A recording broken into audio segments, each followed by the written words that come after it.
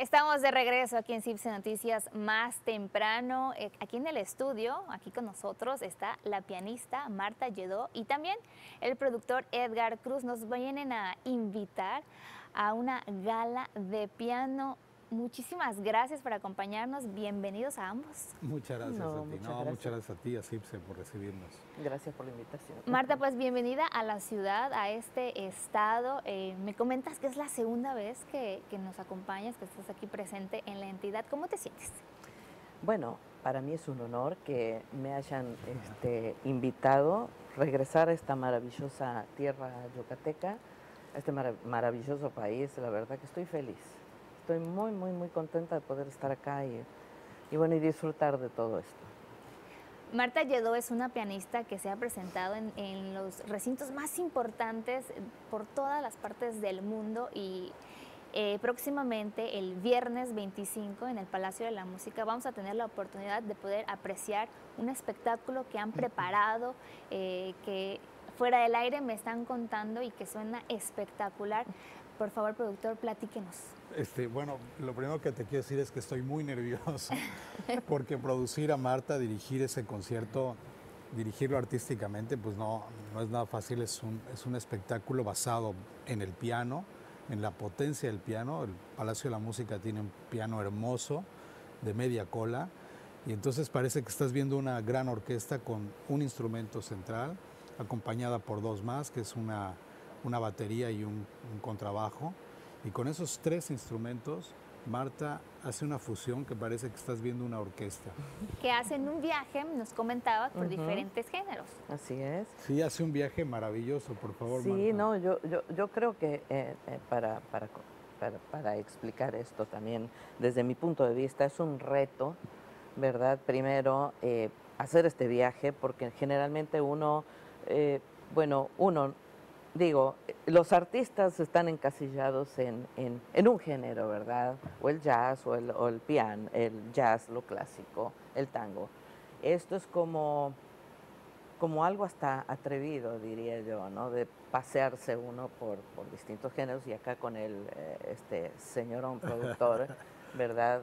Se ha logrado armar, este, diseñar este, este repertorio magníficamente. Entonces, eh, para mí también es un reto, ¿verdad? Porque no estoy tocando a Rachmaninoff o tocando baladas, sino estoy paseándome de un lado para el otro y vamos a ver cómo la gente reacciona. Espero que reaccionen bien. ¿no? Sí, por supuesto que sí. Me gustaría saber cómo logras hacer esta fusión eh, de géneros porque lo haces en vivo. Y entonces nos comentaba el productor que si no pudiéramos estar viéndolos y solo escuchándolos, creeríamos que estamos con una gran orquesta, pero es la magia que tú tienes. Yo creo que es el amor que yo tengo por, por, el, eh, por el instrumento y esa intensidad, ¿no? Cuando amas a alguien o algo, ahí hay pasión, hay profundidad, hay intensidad, entonces eso se siente, se transmite. Y además que bueno, el toque mío es, es grande, creo que es algo poderoso, entonces por eso, y como el piano es un instrumento súper completo, entonces sí se siente todo, ¿no? Los bajos, los, los agudos y toda la, la orquesta ahí, ¿verdad? Te vas acoplando a los otros instrumentos que te van a acompañar, que nos mencionabas que era un... Un contrabajo y una batería. Y una batería. ¿Cómo es poder, eh, cómo podemos imaginar la fusión de estos instrumentos, porque pensamos en el piano y la verdad es que pensamos en la música clásica, pero luego escucharlo con, con un contrabajo y con una batería suena eh, pues espectacular, suena como que la música moderna. Es que, es que yo creo, sí, yo creo que eh, tenemos todos en general, ¿no? Y es ya un tema probablemente cultural, salir un poquito del encasillamiento ese que tenemos de la música clásica, ¿verdad? El piano va con todo y se puede hacer de todo, ¿no? Hay una, una, gran variedad, un abanico de posibilidades. Entonces, el, el, el, trío con piano, o el cuarteto con piano, o el quinteto es magnífico, pero siempre el piano tiene que ser el solista. Si no hay un cantante, por supuesto, y si lo hay, también tiene que ser el solista. Hay elementos electrónicos, que eso está padrísimo, porque solo son instrumentos analógicos, acústicos, música real, ¿no? No hay ningún efecto atrás, es piano, batería y contrabajo. Y hay una sorpresa de la noche. Va a interpretar, a estrenar una obra de un compositor yucateco vivo, para que no, no vamos a decir el nombre No, no, no, todavía. no, para, es una para sorpresa de la día, noche, claro. Pero va a estrenar una obra escrita por un compositor Muy yucateco, la vamos a estrenar. Y hay dos cantantes invitados tradicionales de Yucatán, este, el maestro Jorge Buenfil, voy a adelantar un nombre, este, y eso también va a ser un espectáculo porque llevar esta música, adecuar a lo que los trovadores hacen es una fusión increíble, es un homenaje, me decía Marta, quiero hacer un pequeño homenaje a Yucatán con estos tres elementos, dos cantantes yucatecos, este, con obra y, el estreno de una obra yucateca. Entonces es realmente es una noche mágica, por eso le pusimos una noche en el palacio.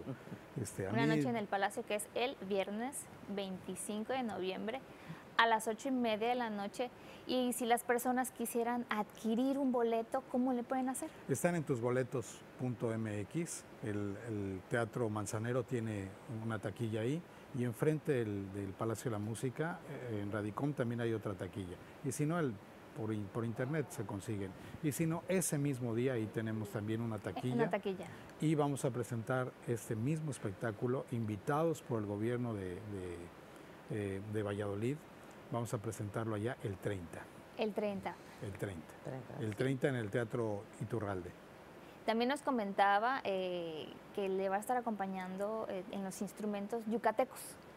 Sí, el maestro Juan Herrera en batería y el maestro Darwin Valencia en bajo. Es un placer eh, poder escuchar que un artista internacional, cuando se viene a presentar, eh, pues el día de, en esta ocasión a Yucatán, integre a la gente de aquí a su espectáculo. Es que, vamos, yo creo que es un crecimiento para, para mí también como artista, ¿no? Eh, intercambiar este arte con, con músicos de acá, ¿no? Creo que eso a, mí- a mí me encanta porque... Sí, para ellos es una oportunidad. Y para mí también, para crecer. porque también aquí hay grandes, grandes artistas. Y bueno, En la primera de las primeras reuniones que tuvimos con Marta me dice, oye Edgar, a mí me gusta siempre a cada lugar en donde yo estoy hacer un homenaje a los músicos locales, al arte local, a la Sí, música claro. local, este, porque eso es una especie de vasos comunicantes, nos com- los dos nos compartimos uno y se aprendemos. ¿no? retroalimenta y además, sí, perdón. No, no, por favor. Por favor. Además, yo siento que eh, a veces es como que naturaleza del ser humano a, a lo local, a veces como que no se le da la importancia que se debiese. Entonces, yo creo que sí hay que prestar mucha atención eh, a lo que tenemos en casa, ¿no? No valorar solo lo de afuera, sino valorar lo de adentro. Así es. Y en esta ocasión es una gran oportunidad para poder apreciar estas dos partes. Para finalizar, me gustaría que por favor nos comentaras tus redes sociales para poder entrar y ver un poquito de la magia que tú tienes. Mm, bueno, este, tengo Facebook, Instagram, me, me buscan como Marta Lledó, pianista. y YouTube también, en ahí están YouTube, todos los, En todos los mis canales de YouTube o Marta Lledó Video Channel y ahí sale todo lo que todo lo que hice, todo lo que hago Y todo lo que vi. y esperemos. Pues mi querida Marta, muchísimas gracias por habernos acompañado, querido gracias. productor. Qué bueno No, que nos vienen a hacer esta invitación. Y por supuesto, el viernes no nos podemos perder este espectáculo, ya lo sabe, en tusboletos.com puede adquirir pues, todas las entradas que usted requiera. Muchísimas gracias. No, Gracias. muchísimas gracias a ustedes. Gracias. Gracias, los esperamos. Después de esto vamos a un corte comercial, regresando hay más noticias, así que no le cambie, ya volvemos.